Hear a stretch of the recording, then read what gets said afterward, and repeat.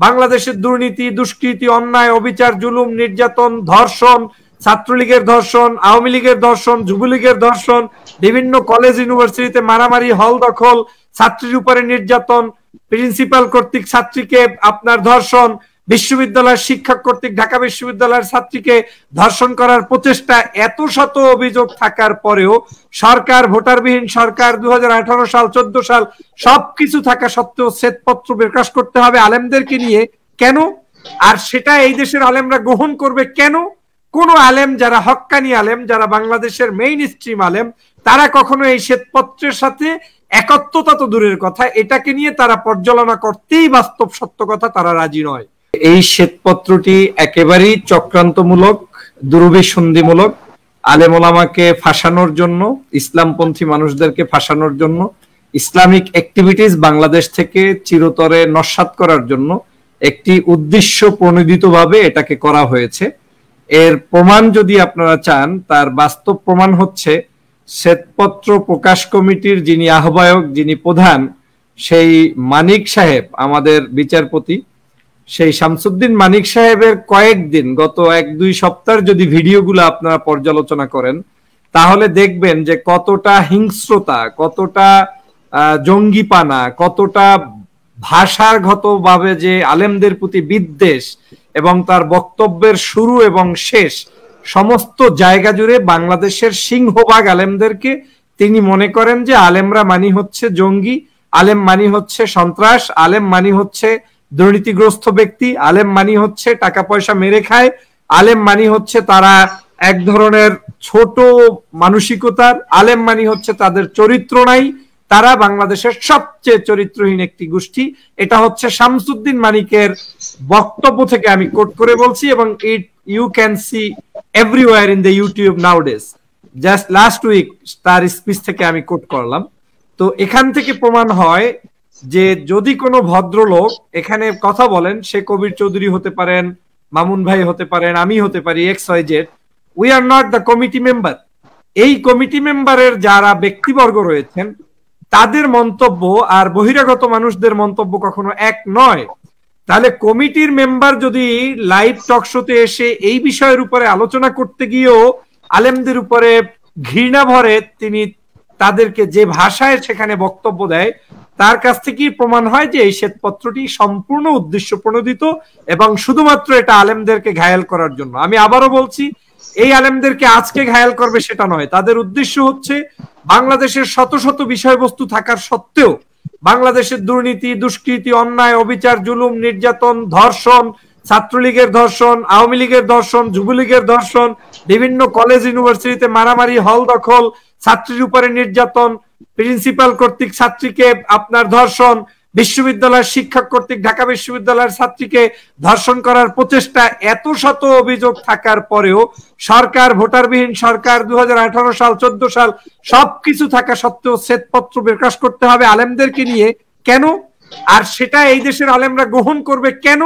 কোন আলেম যারা হক্কানি আলেম, যারা বাংলাদেশের মেইন স্ট্রিম আলেম, তারা কখনো এই শ্বেতপত্রের সাথে একত্রতা তো দূরের কথা, এটাকে নিয়ে তারা পর্যালোচনা করতেই বাস্তব সত্য কথা তারা রাজি নয়। কিন্তু কিছু মানুষ হয়তো হতে পারে, সেটা ওই যে আমাদের কয়েকদিন আগে আব্বাসী সাহেব বলেছিলেন যে বাংলাদেশের কিছু আলেম রয়েছে, যারা দরকারি আলেম আর কিছু রয়েছে সরকারি আলেম। এখন যদি কিছু সরকারি আলেমকে ষড়যন্ত্রমূলক ভাবে তাদেরকে দূরে রেখে অথবা এই কমিটির একশো ষোলো জনের মধ্যে তালিকায় রেখেও তাদেরকে যদি পিছনে পিছনে আন্ডারস্ট্যান্ডিং করে তাদেরকে দিয়ে কোনো একটা বিবৃতি দেওয়ানোর চেষ্টা করা হয়। আমি মনে করি সেটা মেইন স্ট্রিম আলেমদের কোনো বক্তব্য নয়। মেইন স্ট্রিম আলেম বলতে আপনি কাকে বুঝেন? বাংলাদেশের প্রখ্যাত আলেমিদিন আজকের এই মিজানুর রহমান আলাজারি সাহেবের মন্তব্য কি? আজকের প্রখ্যাত আলেমিদিন আপনার এই আব্বাসী সাহেবের মন্তব্য কি? আজকের চরমনার পীর সাহেবের দুই ভাইয়ের নাম এখানে এসেছে। তাদের বর্তমান পীর দয়ের কি অবস্থান? আজকে তারা হচ্ছে বাংলাদেশ। আজকের সেই বাংলাদেশ, আজকে অন্যান্য যে বড় বড় কওমি আলেম রয়েছে, তারা হচ্ছে বাংলাদেশের সেই বড় শ্রেষ্ঠ আলেম। অতএব সেই কওমি আলেম, হেফাজতপন্থী আলেম, আমি আপনাকে একটা বিষয় বলি, বাংলাদেশে যখন থেকে এই সরকার দেখেছে যে কওমি মাদ্রাসার সনদ দিয়েও কওমি আলেমদেরকে কন্ট্রোল করা যায় না, যখন সরকার দেখেছে কওমি স্বীকৃতি দেওয়ার পরেও আজকে তাদেরকে কন্ট্রোল করা যায় না আলেম ওলামা তাদের কাছে নেই। যখন সরকার বিভিন্ন প্রলোভন দেখিয়ে সেই প্রধানমন্ত্রী থেকে শুরু করে সবাই এখানে ইনভলভ হতে চেয়েছে। কিন্তু আলটিমেটলি দেখেছে যে বাংলাদেশের আলেম সমাজকে আওয়ামী লীগের মতো এই সকল উদ্ভট রাজনৈতিক নেতৃবৃন্দ তারা কখনোই তাদের মনোরঞ্জন, তাদেরকে যে মানে তাদের সাথে যে একটা আন্ডারস্ট্যান্ডিং এটা খুব ভালো কখনো যায় নাই বিধায়। আজকে তারা এই প্রচেষ্টাটি শুরু করেছে এবং সেটা দেখেন দীর্ঘ নয় মাস সময় নিয়ে তারা এই কাজটি করেছে, তার মানে হচ্ছে মোদী বিরোধী আন্দোলনের পরবর্তী সময় থেকেই ভারতের একটি এজেন্ডা হিসেবে এই কাজটি তারা করেছে এবং এই কাজের পিছনে যারা অর্থ ব্যয় করেছে, যাদেরকে ইনভলভ করা হয়েছে, প্রত্যেকে বিতর্কিত।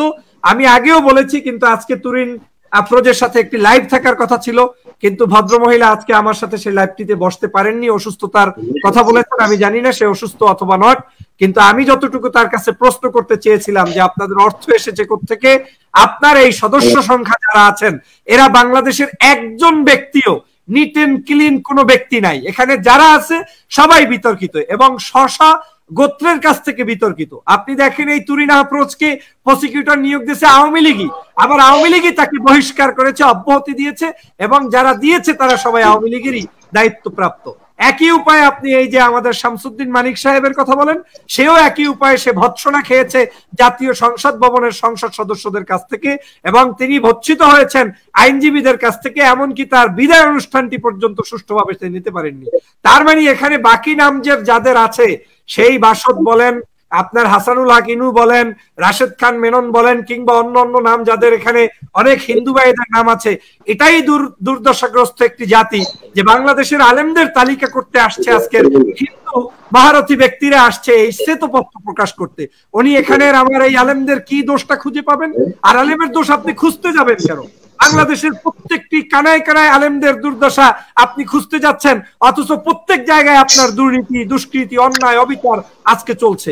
আজকে আলেম বিদ্বেষী হওয়ার কারণে বাংলাদেশটা যে দুর্দশাগ্রস্ত একটি খাদের মধ্যে পড়ে যাবে, সেটা কি আপনি চিন্তা করেছেন? সারা বাংলাদেশে কত লক্ষ মাদ্রাসা রয়েছে, সারা বাংলাদেশে কত লক্ষ মসজিদ রয়েছে, ইমাম রয়েছে, মোয়াজ্জিন রয়েছে, আলেম রয়েছে, তাদেরকে বিতর্ক করলে, বিতর্কিত করলে বাংলাদেশের বর্তমান যে একটা সভ্য সমাজ রয়েছে, এই সভ্য সমাজটাই অসম, অসভ্য সমাজ হিসেবে রূপান্তরিত হবে। বাংলাদেশকে কোনোদিন সেটা কন্ট্রোল করতে পারবেন না। কারণ প্রত্যেকটা সোসাইটি কন্ট্রোল হয় by through their people their culture their religious আপনাকে কি বলে, মানুষের বিলিভিয়ার্স এই যে বিহেভিয়ার্স থেকে শুরু করে সবকিছু তাদের নিজস্ব কালচার থেকে আজকের এই কন্ট্রোল হয়। তাহলে বাংলাদেশের সিংহভাগ মানুষ সে হিন্দু কিংবা মুসলমান, খ্রিস্টান কিংবা বৌদ্ধ, সবাই কিন্তু ধর্ম চর্চার পছন্দ করে, ধর্মিক, ধার্মিকতা পছন্দ করে। অতএব যারা আজকের এখানে এই কাজটি করতে এসেছে। তারা মূলত ধর্মকেই পছন্দ করতে চায় না। যখন ধর্ম দেশে থাকবে না, তখনই মূলত তারা তাদের মতো করে চলতে পারবে। তাদের মতো এই দেশটাকে বিশ্বের অন্য অন্য দেশের সাথে তুলনা করে, আমার দেশের সভ্যতা, সংস্কৃতি, ঐতিহ্য, ইসলামিক ঐতিহ্য, অন্য অন্য ধর্মের ঐতিহ্য, সেটা থেকে তারা বঞ্চিত করতে পারবে। সেজন্যই তারা এই কাজটি করেছে বলে আমি মনে করি। ধন্যবাদ।